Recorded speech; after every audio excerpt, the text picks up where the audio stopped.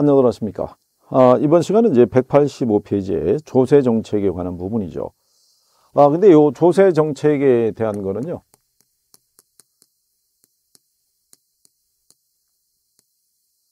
요게 29, 30, 그 다음에 31, 32. 예, 4년 연속 나온 게 뭐가 나왔냐면 보유세를 가지고 냈어요. 예, 그래서 우리가 이제 보유세 안에 보게 되면 국세가 있고 지방세가 있죠. 예, 이게 이제 종합부동산세고요. 그리고 이게 재산세거든요. 이걸 가지고 이제 계속 인용했다. 그래서 1번 문제가 작년에 나왔던 건데요. 자, 조세에 관한 설명으로 틀린 걸 물어봤을 때 아, 조세 중립성은 조세가 시장의 자원 배분에 영향을 미치지 않아야 된다는 원칙을 우리가 이제 조세의 중립성이라고 얘기를 하죠. 이 그리고 양도소득세를 중과하게 되면 부동산의 보유기간이 늘어나는 현상이 발생할 수 있죠. 우리나라에서도 다주택자에게 양도세를 중과세를 하게 되니까 이 양반들이 주택을 처분하기가 쉽지가 않죠. 그러니까 보유기간이 늘어난 현상이 발생할 수 있다고 얘기할 수 있겠죠. 근데 여기 틀린 거를 보게 되면 5번 지문에 재산세하고 종부세는 보유세로서 예, 근데 지방세라 그러니까 틀린 거죠. 종부세는 국세고 지방세는 재산세가 되겠죠. 그래서 예, 이렇게 5번 그래서 이제 틀리게 준 거죠. 그러니까 작년에 나왔던 이 문제는 아주 쉬웠던 것이고요. 그 다음에 이제 2번 문제를 가서 보시게 되면 예, 부동산 조세 유형 중에서 보유과세를 모두 고른 거를 물어봤죠. 예, 그러면 보유과세는 재산세하고 종부세밖에 없잖아요. 그죠? 그래서 디귿하고 리을에 대한 예, 4, 아, 3번이 답이 되겠죠. 그리고 이제 3번 문제 가시면은 부동산 관련 조세에서 가로 안에 들어갈 내용으로 올바른 거를 물어봤을 때 자, 국세 보유 단계에서 종부세겠죠. 그러면 1번 아니면 2번에서 답을 찾아야 되는데 니은이 지방세인데 재산세죠. 그러니까 답이 1번이겠죠. 예. 그래서 이 조세에 대한 부분을 물어보는 것이 참 간단했다 이런 얘기죠. 거기다가 4번 문제를 보시면 우리나라 부동산 조세 정책에 관한 설명으로 틀린 거. 이거는 이제 31회 때 나온 거죠. 예. 취득세를 감면해 주게 되면 부동산 거래 활성화에 이제 기여할 수 있겠죠. 그리고 이제 양도세의 중간은 부동산 보유자로 하여금 매각을 뒤로 미루게 하는 동결 효과를 발생시킬 수 있다. 거기서의 그 동결 효과에 대한 거는 용어 정도는 항상 기억을 해 두셔야겠죠. 양도세를 중과세를 하게 되면요. 세금의 부담을 피하기 위해서 시장에 주택의 공급이 감소하겠죠. 그래서 오히려 주택 가격이 상승하는 부작용을 처리하는 게 동결 효과라고 보시면 될 거예요. 근데 이제 4번에 보면은 종부세는 국세로서 보유 단계에 부과하는 조세다는 맞는 표현인데 재산세는 지방세로서 취득 단계에 부과하는 조세다 이렇게 틀렸겠죠. 그러니까는 결국 예, 31회, 32회가 예, 결국은 보유세를 가지고 구분할 수 있느냐를 물어본 내용이니까 간단하게 우리가 정리할 수 있었던 내용이었다. 그 다음에 이제 5번에 보시게 되면은요, 조세에 관한 설명으로 옳은 것을 물어봤죠. 예, 소유자가 거주하는 주택에 재산세를 부과하게 되면 주택 수요가 증가하고 주택 가격은 상승한다라고 이렇게 명시가 되어 있는데 소유자가 거주하는 주택에 재산세를 부과하게 되면 수요가 감소하게 되겠죠. 그죠? 예, 그리고 가격은 상승하게 되겠죠. 임대주택에 재산세를 부과하게 되면 임대주택의 공급이 증가하고 임대료는 하락할 것이라는 게 틀린 거죠. 기본적으로 조세를 이렇게 균형 상태에서요.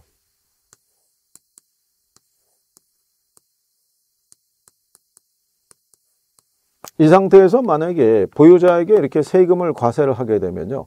이 세금을 가격에 반영을 시키기 위해서 공급자는 이렇게 조세가 부과된 크기만큼 거래량을, 공급량을 이렇게 줄어들게 하죠.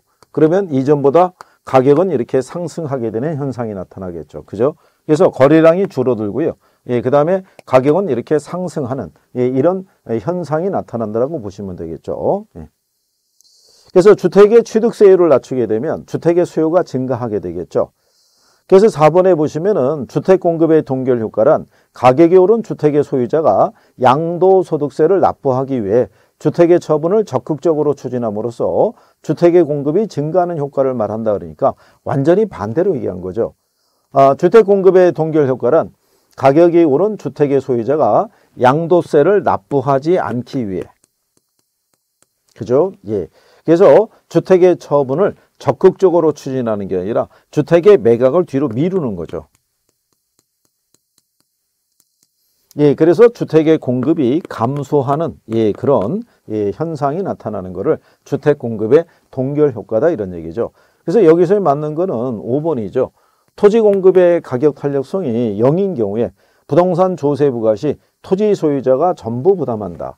그러면 토지 공급의 가격 탄력성이 0이라는 얘기가 이렇게 완전 비탄력적이라는 얘기죠. 이 상태에서 만약에 시장 가격이 천원이라고 가정할 때요. 여기는 이제 주택 소유자에게 100원의 세금을 만약에 부과를 했다. 그러면 이제 소유자는 이 세금을 수요자에게 전가하기 위해서는 얘가 가격에 반영을 시켜야 되거든요. 그러면은 가격을 올려야 되는데 완전 비탄력적이니까는 양을 변화를 줄 수 없잖아요. 그러니까 부과 전이나 부과 후나 가격이 동일하죠. 그럼 결국은 소유자는 천 원 받고 예, 팔아서 100원 세금을 다 자기가 부담해야 되죠. 그러니까 전액 토지 소유자가 부담한다. 그래서 완전 비탄력적일 때는 앞에하고 뒤가 같다고 그랬었죠. 예, 그래서 공급이 완전 비탄력적이면 공급자가 전액 부담하는 예, 이런 케이스라고 보시면 되겠죠. 예, 그 다음에 이제 6번에 보시게 되면 부동산 조세에 관한 설명으로 옳지 않은 것을 물어봤을 때, 예. 자, 6번 문제상에서 보시게 되면은 헨리 조지에 대한 논리도 이제 다시 언급이 되는데요. 1번은 이제 취득 단계에 부과하는 조세로 취득세, 인지세 뭐 이런 것들이 있고요. 2번에 보면 헨리 조지는 토지에서 발생하는 지대 수입을 100% 징세할 경우에 토지세 수입만으로 재정을 충당할 수 있기 때문에 토지세 이외의 모든 조세는 철폐하자고 주장했다 이런 얘기죠. 그래서 헨리 조지가 얘기하는 요 토지세라는 것은요. 지대에 부과하는 조세예요. 근데 요 지대라는 게 일종의 초과 이윤이거든요. 그러니까 헨리 조지가 얘기한 건 뭐냐면 자본주의 경제에 있었을 때 모든 생산을 통해서 벌어들인 이유는 다 지대의 귀속이 되더라 이런 얘기죠. 근데 이 지대라는 게 일종의 잉여이자 불로소득이니까 여기에만 조세를 부과해서 이 세금만 갖고도 정부의 재정 수입을 충당할 수 있다라고 이렇게 얘기하는 경우죠. 그래서 우리가 지금 상태도 보면은 왜 시중에서 조물주 위에 건물주다 이런 표현이 있잖아요. 그래서 왜 강남 대로 같은 데 가보게 되면요. 1층의 업종이 싹 바뀐 거죠. 왜냐하면 임대료가 워낙 비싸니까 물건 가격이 싼 걸 취급하는 점포는 들어설 수가 없어요. 그래서 강남에 그 수십 년 동안 있었던 유명한 제과점도 있었는데 결국 없어졌죠. 왜냐하면 빵을 팔아가지고 수천만 원씩 되는 임대료를 감당하기는 어렵다는 얘기죠. 예, 그래서 그런 부분에 대해서 이제 예, 과세를 해야 된다라고 주장한 사람이죠. 예, 그런데 이제 거기에 여러분들이 보시면 예, 3번에 지가 상승에 대한 기대가 퍼져 있는 상태에서 양도세가 중과가 되면 동결 효과가 발생해서 아, 지가가 하락한다니까 틀린 거죠. 우리가 이 동결 효과가 발생하게 되면요. 말 그대로 동결이잖아요. 그러면 공급이 감소한다고요. 양도세 부담을 줄이기 위해서. 그러면 가격이 이렇게 상승하게 되는 부작용을 초래한다라고 생각하시면 되겠죠. 네. 그래서 양도세의 동결 효과, 헨리 조지의 토지 단위세 같은 경우는 용어상에서 정리는 해 두셔야 된다는 얘기죠. 그 다음에 이제 7번에 재산세를 부과할 경우에 나타나는 현상, 조세를 부과하게 되면 주택 시장의 거래량이 이제 줄어들게 되겠죠. 그리고 이제 공급이 완전 비탄력적이면 이렇게 얘기했었죠. 공급이 완전 비탄력적이면 공급자. 앞에하고 뒤가 같아진다 그랬죠. 예, 그래서 조세는 전부 공급자가. 그리고 우리가 이 3번하고 4번에 대한 거는요. 탄소 비대 배운 거 기억하시나요? 탄력적일수록 조세 부담이 작아지고 비탄력적일수록 조세 부담이 커진다는 얘기죠. 그럼 3번에 보시면 상대적으로 주택 공급이 비탄력적이고요. 수요가 탄력적이라는 거죠. 공급이 비탄력적이라는 얘기죠. 이렇게. 그러면 수요자 부담이 적고 공급자 부담이 커지겠죠. 그죠? 공급자가 더 많이 부담한다. 근데 4번에 봤더니 공급이 비탄력적이고 수요가 탄력적이면 수요자가 더 적게 부담하겠죠. 그러니까 같은 내용인데 표현만 바꿔준 거죠. 예, 그래서 거기 보시면은 틀린 것 하면 5번이죠. 공급이 탄력적이고 수요가 완전 비탄력적이면 공급자가 조세를 전부 부담한다는 게 틀린 거죠. 수요가 완전 비탄력적이면 소비자가 전액 부담해야겠죠. 그렇죠? 길게 보면은 이제 이렇다는 얘기죠. 요게 수요가 되겠고요. 공급이 이렇게 돼 있을 때. 만약에 이런 조건 하에서 아, 만약에 이제 종, 아, 조세가 부과가 됐어요. 한 100원 정도. 그러면 이거를 이렇게 가격을 올리죠. 공급자가. 조세가 부과된 것만큼 1100원. 그러면 이 올라간 가격을 다 소비자가 부담할 수밖에 없죠. 그럼 소비자가 이 부담을 줄이려고 그러면 소비하는 양이 줄어들어야 되는데 양을 변화를 줄수 없잖아요. 그죠? 예. 그래서 7번에는 답이 5번이 되더라. 그 다음에 이제 8번에 보시면 조세 전가와 귀착에 대한 설명으로 틀린 거를 물어봤을 때 수혜의 가격 탄력성이 0이면 소비자에게 전액 전가된다고 그랬죠. 이게 0이라는 의미가 뭐라고 말씀드렸냐면 완전 비탄력적이죠. 그렇죠? 예, 맞는 편이고요. 공급보다 수요가 비탄력적이면 수요자 부담이 크죠. 소비자 부담이. 이건 탄소 비대를 자꾸 생각하시면 되겠죠. 예, 그 다음에 이제 공급의 가격 탄력성이 완전 탄력적이면 소비자에게 전액 전가할 수 있다고 그랬죠. 예, 공급이 완전 탄력적이면 누구에게? 수요자. 완전 탄력적이면 앞에하고 뒤가 서로 달라진다라고 말씀을 드린 거죠. 예. 근데 답은 3번이 되겠죠. 아, 조세가 수요자에게 부과되는 경우에는 상대적으로 수요자 부담이 커지고 공급자에게 부과되는 경우에는 상대적으로 공급자 부담이 커진다 그러면 틀리죠.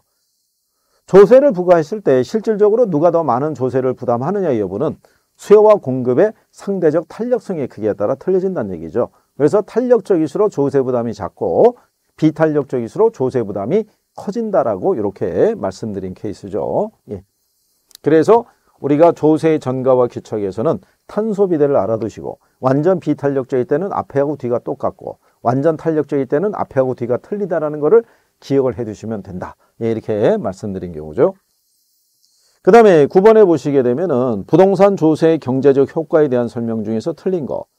자, 이제 반복된 내용이죠. 주택 공급의 동기 효과가 발생하게 되면 예, 주택 가격이 상승할 수 있죠. 예. 그리고 임대주택의 재산세가 부과되면 부과된 세금은 장기적으로 임차인에게 전가될 수 있다 이런 얘기죠. 근데 어느 정도의 크기로 전가시킬 수 있냐 여부는 탄력성의 크기에 따라 틀려질 수 있겠죠. 그리고 3번에 보면 수, 공급의 가격 탄력성이 탄력적이라고 그랬죠. 그죠?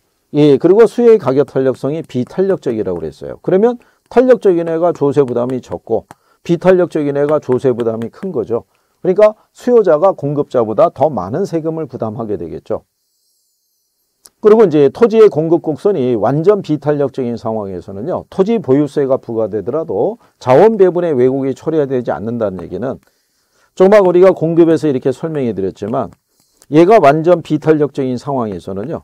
이 가격의 변화를 줄 수가 없죠. 이 거래량의 변화가 없잖아요. 양을 조절할 수 없으니까. 그래서 자원 배분의 왜곡을 초래하지 않는다는 얘기죠. 그래서 이제 답은 4번이겠죠. 아, 토지 이용을 특정 방향으로 유도하기 위해서 정부가 토지 보유세를 부과할 때는 용도에 관계없이 동일한 세금을 부과하면 안 되겠죠. 용도에 따라 차등 과세를 해야겠죠. 예, 그래서 답은 이 4번 이렇게 보시면 되겠고요. 그 다음에 이제 10번에 보시면 정부에서 주택에 부과하는 재산세를 상승시켰다. 다른 조건이 동일할 때 주택시장에서 일어나는 현상 중에서 이제 잘못된 것은 이렇게 부, 아, 이게 하겠죠. 그래서 조세가 부과되면요. 기본적으로 거래량이 줄어들기 때문에 상대적으로 이제 임대료가 상승하게 되겠고요. 그 다음에 이제 누가 더 많은 세금을, 세금에게 이제 어, 전가가 되느냐 여부는 수요와 공급의 상대적 탄력성에 따라 틀려지겠죠. 근데 이제 4번에 보면 수요가 완전 탄력적일 때 재산세 상승분은 전부 임차자에게 귀속이 된다는 게 틀린 거죠. 우리가 완전 탄력적이라는 표현이 나오면요. 수요가 완전 탄력적이면 이건 이제 공급자에게 완전 탄력적일 때는 앞하고 뒤가 틀려진다고 그랬었죠. 예, 그래서 답은 4번이 되더라 이런 얘기죠. 그리고 5번에 보시면요. 일률적으로 같은 비율을 주택가격에 적용하는 재산세는 역진세적인 효과가 나타난다고 얘기하죠. 그래서 일반적으로 이 고소득층들은 신규 주택을 소비하고요. 그 다음에 이제 저소득층들은 예, 기존 재고 주택을 소비한다라는 가정이에요. 그죠? 근데 신규 주택은 생산 공급이니까 얘는 비탄력적이죠. 근데 얘는 보유 공급이니까 상대적으로 탄력적이죠. 그러니까 일률적으로 신규 주택과 재고 기존 주택을 가리지 않고 똑같은 세율을 부과하게 되면 공급이 비탄력적인 신규 주택을 소비하는 고소득층에 대한 조세의 전가가 좀 떨어지죠. 적게 부담하죠. 근데 얘는 탄력적이니까 저소득층들이 오히려 세금을 더 많이 부담하는 부작용을 초래할 수 있다 이런 얘기죠. 그래서 그럴 때는 차등 과세를 하거나 저소득층에게는 면세를 하거나 아니면은 아, 공공임대주택의 공급을 많이 늘려주는 것도 하나의 방법이다 이렇게 볼 수 있겠죠. 예. 그 다음에 이제 11번에 보시면 정부에서 주택시장을 안정시키기 위해서 매도인에게 양도세를 중과세하기로 했다. 이제 이런 얘기가 되겠죠. 수혜의 가격 탄력성이 비탄력적이고 공급의 가격 탄력성이 탄력적이라고 할 때, 그럼 거기서도 이제 우리가 이렇게 보면 되겠죠. 수요가 비탄력적이고 공급이 탄력적이라는 가정을 먼저 이렇게 체킹해 놓으셔야겠죠. 예. 그러면 양도소득세 납부 후에 매도인이 실제로 받는 대금은 양도세가 이제 중과되기 전보다 항상 높아질 것이다 라고 하니까 틀린 거죠. 예, 그 얘기는 무슨 얘기냐면요. 음, 만약에 이제 이런 상태에서요. 임대료가 이제 이렇게 뭐 100만 원 이렇게 주어져 있었을 때 이 사람에게 만약에 세금이 가령 예를 들어서 뭐 10만 원 부과됐다라고 가정하자고요. 그러면 이거를 임대료에 반영을 해야겠죠. 그래서 이제 임대주택의 공급이 줄어들어요. 그 임대료가 상승한다고요. 그죠? 근데 10만 원을 다 올리지는 못하고 예서 100한 5만 원 정도. 그죠? 그럼 요거는 임차자에게 전가가 돼요. 근데 문제는 105만 원이 다 임대업자의 임대 수입이 되는 건 아니죠. 105만 원 임대료를 받아서 10만 원의 세금을 내야 되니까 그러면 공급 아, 임대업자의 주머니에는 95만 원밖에 안 들어오죠. 그럼 이전보다는 임대 수입이 오히려 줄어드는 현상이 나타난다 이런 얘기죠. 예. 그래서 양도세가 중과되기 전보다 중과 후에 거래량이 늘어난다 그러면 틀리죠. 오히려 거래량이 줄어들게 되겠죠. 그리고 양도세의 중과 후에 매수인이 지불하는 가격은 양도세가 중과되기 전보다 낮아진다면 틀리죠. 높아지겠죠. 이전보다 지불하는 가격이.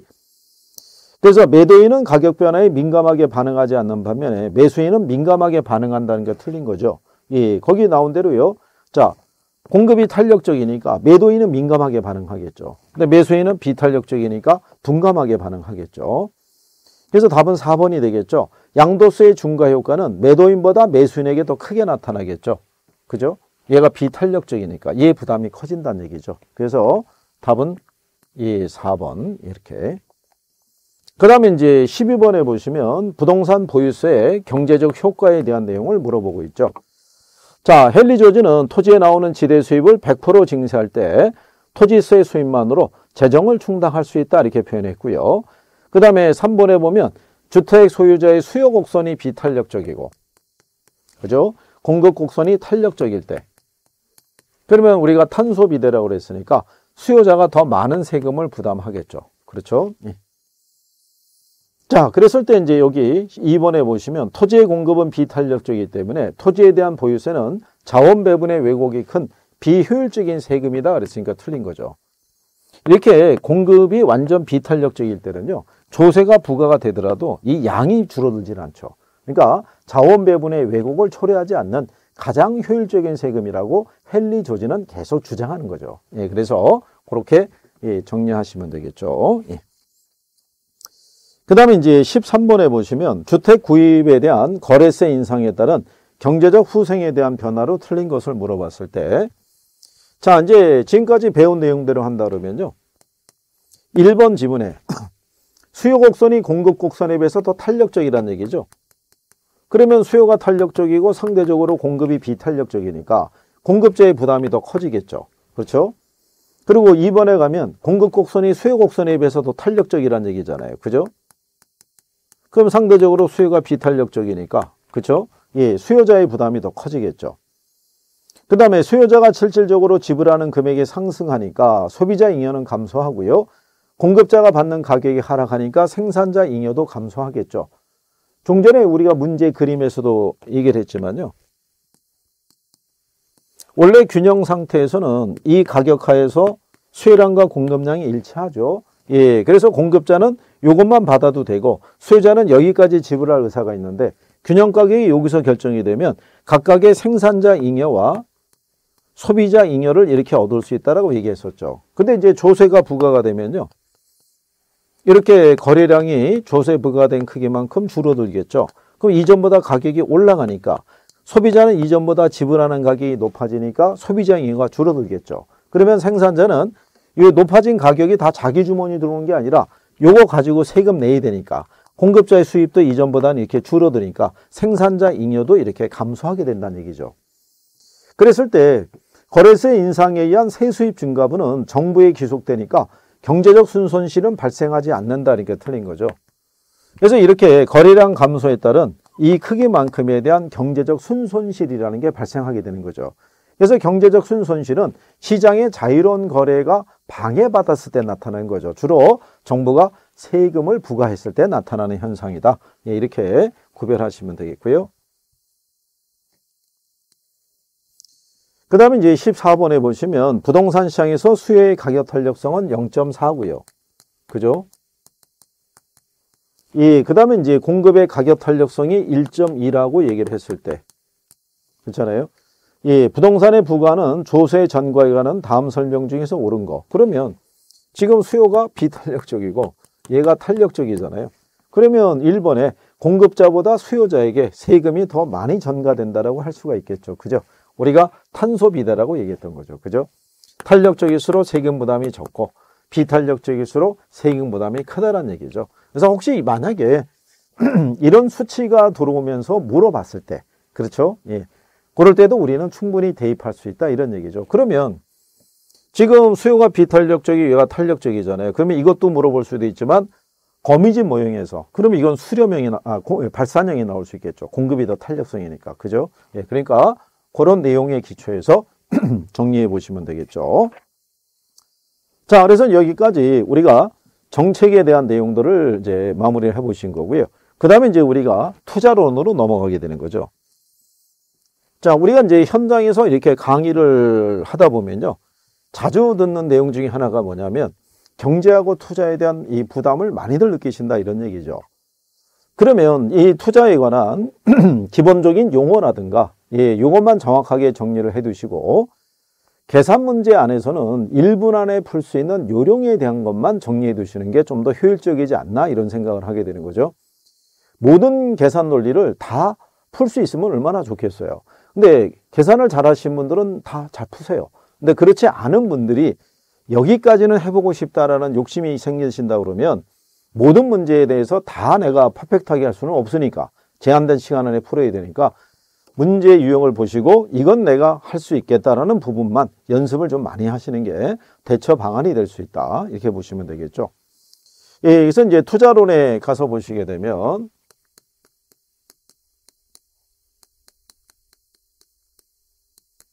자, 거기 보면 이제 대표 유형 문제가 나와 있는데요.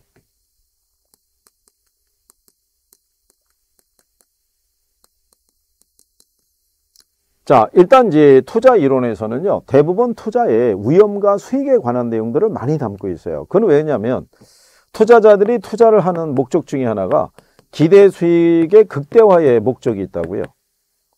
근데 문제는 말 그대로 기대 수익이잖아요. 그러니까 이거는 현재 발생하는 게 아니라 미래에 발생하는 수익이라고요. 미래 불확실한 수익을 위해서 내가 투자 운영을 할 때는 반드시 투자자는 뭐를 감수하고 들어갈 수밖에 없냐면 위험을 감수하고 들어갈 수밖에 없다고요. 그러니까 기본적인 여러분 시험에 출제하는 문제 제목 중에 하나가 위험과 수익에 대한 것을 물어보죠. 그래서 거기 교재에 보시면 아, 투자의 수익과 위험에 관한 설명으로 틀린 걸 물어봤을 때 1번 지문에 대한 거는 잘 나오는 거예요. 우리가 투자를 결정할 때는 기대 수익률하고 요구 수익률을 비교했을 때 뭐가 클 때? 기대 수익률이. 그죠? 그러니까 요구 수익률이라는 건 뭐냐면요. 만약에 여러분들이 은행에다가 돈을 예치를 했어요. 그러면 최소한 이자 수익은 나올 거 아니에요. 근데 그 이자 수익은 확실한 수입이죠. 근데 누군가 여러분들에게 권유하는 거예요. 야, 은행에 너 그 10억 집어넣어 가지고 그거 한 1% 이자 수익 얻는데 그거 말고 부동산에 투자해봐. 그러면 수익률이 훨씬 좋다라고 얘기를 해요. 근데 문제는 부동산에서 나오는 수익률은 보장이 되는 수익률이 아니에요. 그럼 내가 확실한 수익률을 포기하고 부동산에 투자한다는 얘기는 내가 원하는 만큼의 수익을 얻을 수도 없고 아니면 내가 투자한 돈을 다 날릴 수도 있다는 얘기죠. 그럼 나는 위험을 감수하고 들어가는 부분이니까 거기에 대한 대가를 요구하게 돼 있어요. 그러면 투자자는 기본적인 내가 은행에서 얻는 이자율에다가 만약에 사업이 잘못되거나 뭐 여러 가지 이유가 있어서 내가 부담해야 될 리스크를 감안했을 때 최소한 5%의 수익을 요구를 해요. 그런데 이 사업에서는 이거 이상의 수익률을 기대할 수 있어요. 그러면 나는 위험을 감수하고 투자할 수 있다는 얘기예요. 그래서 기대 수익률이 요구수보다 크면 투자안이 채택이 되는 경우죠. 자, 그랬을 때 여기 투자자 중에 보게 되면요. 위험 회피적인 투자자가 있고요. 그 다음에 위험 중립적인 투자자가 있고요. 그 다음에 위험 선호적인 투자자가 있어요. 여기서 가장 이 투자론에서 얘기하는 투자자는 이 사람이에요. 이 사람은 만약에 두 개의 투자 대안의 수익이 비슷하면요. 위험이 작은 투자를 선택을 해요. 그러니까 상대적으로 위험에 대한 부담을 많이 갖는 걸 싫어해요. 그런데도 이 사람들이 위험을 감수하고 투자할 때는 반드시 높은 대가를 요구하는 사람이에요. 그런데 위험 중립적인 투자자는요.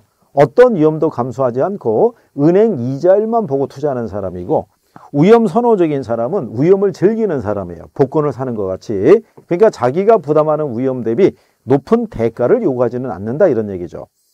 그래서 2번 어, 지문에 보면 동일한 위험 증가에 아, 대해서 위험 회피형 투자자는 위험 추구형 투자자보다 더 높은 수익률을 요구한다라고 얘기하는 경우죠. 예, 그래서 예, 2번도 아 3번 지문에 아 2번 지문도 맞는 표현이죠.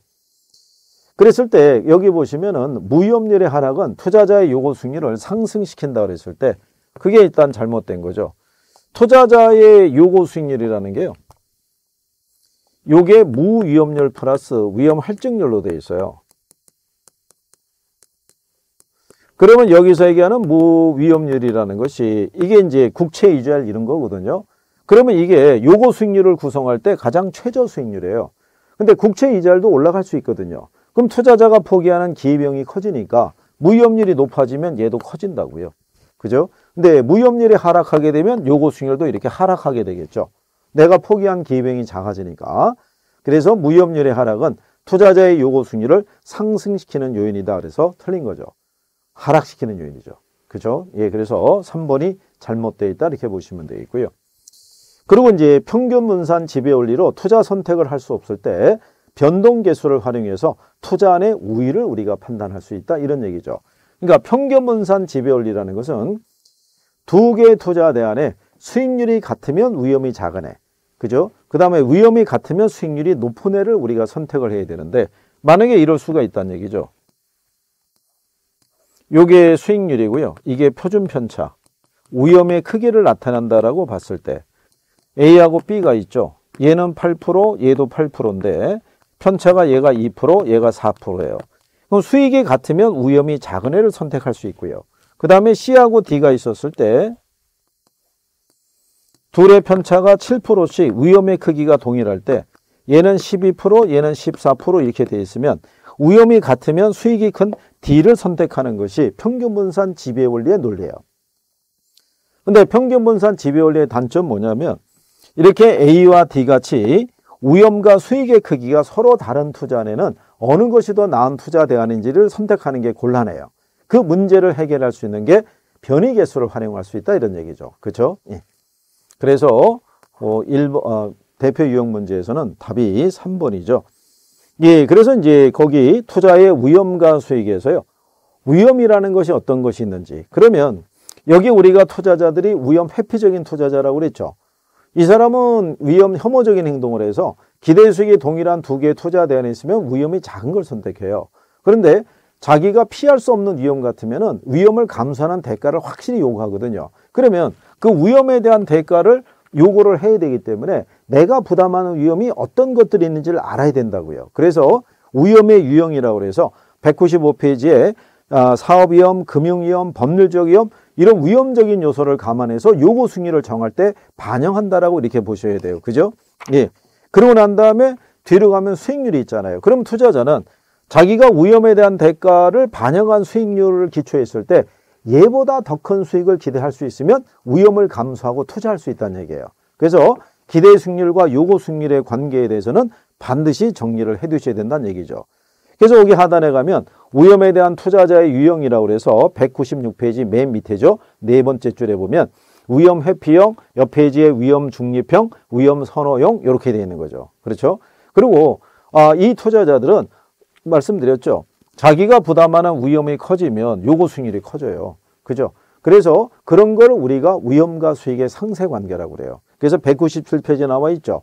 예, 그래서 투자자는 자기가 부담하는 위험이 커지잖아요. 예, 그래서 여기가 수익률이고 여기가 위험이라고 그랬을 때 내가 부담하는 위험이 커지면 그만큼 요구하는 수익률도 커진다는 얘기죠. 그걸 우리가 위험과 수익의 상세 관계라고 얘기하는 경우죠. 예, 그래서 그런 기본적인 용어들에 대해서도 정리가 돼 있어야 된다는 얘기죠.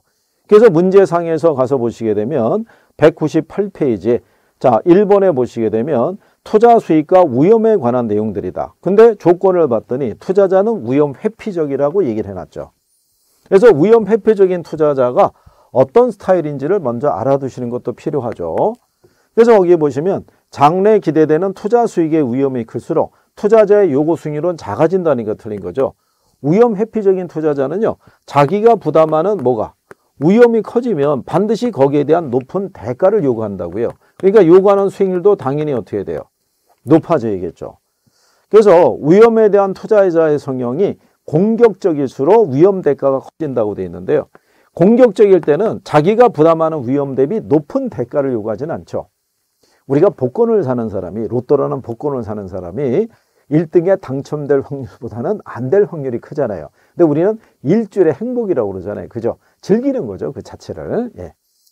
그 다음에 이제 재무 위험은 물가 상승으로 인한 부동산이나 임대료의 실질 가치가 하락할 가능성을 의미한다 그랬을 때 4번은 우리가 이제 인플레 위험을 얘기하겠죠. 그리고 이제 부동산을 원하는 시기에 현금화되는 것은 일반 상품과 달리 용이하다라면 틀리죠. 부동산은 유동성이 떨어지는 자산이죠. 그걸 우리가 이제 유동성 위험이라고도 얘기를 하죠. 답은 이제 3번이죠. 전액 자기 자본으로만 투자를 하게 되면 금융 위험은 발생하지 않는 거죠. 그러니까 금융 위험은 돈을 차입했을 때 발생하는 거죠. 돈을 차입하는 이유는 레버리지 효과를 크게 가져가기 위함도 있지만 그죠? 예. 상대로 내가 부담해야 될 위험도 커진다라고 보시면 될 거예요. 그다음에 이제 2번에 보시게 되면은 부동산 투자의 레버리지 효과 뭐 이렇게 나와 있다는 얘기죠. 예, 그래서 요 2번서부터 해가지고요. 수익형 부동산 했을 때 레버리지 효과 2번, 3번, 4번, 5번. 예, 여기까지가 이제 그 레버리지 효과에 관련해서는 시험에서 낼 때 이론도 낼 수 있고 계산도 낼 수 있어요. 예, 그래서 그런 내용을 같이 해서 다음 시간에 이어서 한번 정리를 해보도록 하겠습니다.